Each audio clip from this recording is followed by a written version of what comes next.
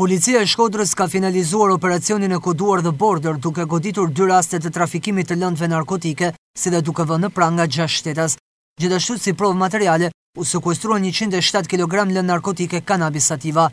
Rasti i parë që solli arrestimin e pesë shtetasve u finalizua në brezin e kufirit jeshil në vendin e quajtur fshati Pentar, njësia administrative Dajç, në një kamion tip Benz me targë Shkodër tetëdhjetë e tetë nëntëdhjetë e tre E Ishin ngarkuar tetëmbëdhjetë thasë me peshë tetëdhjetë e tetë kilogramë lëndë narkotike Cannabis Sativa, e cila u sekuestrua në cilësinë e provës materiale.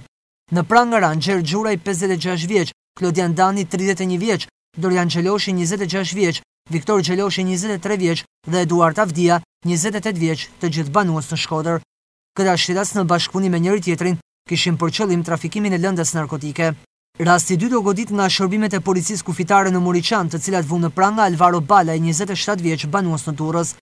Gjatë kontrollit të ushtruar në vijën e dytë, në automjetin tip Opel Corsa me targa A tetëqind e trembëdhjetë OV u gjetën në dy anësoret e këtij automjeti, poshtë dyerve, disa pako të mbështjella dhe të futura në cilindra metalikë, ku në total rezultuan nëntëmbëdhjetë kilogramë lëndë narkotike Cannabis Sativa, e cila u sekuestrua nga policia. Për të dy rastet e goditura, uniformat blu bëjnë me dije se materialet janë referuar krimeve të rënda në Tiranë për veprën penale Trafikim i lëndëve narkotike në bashkëpunim.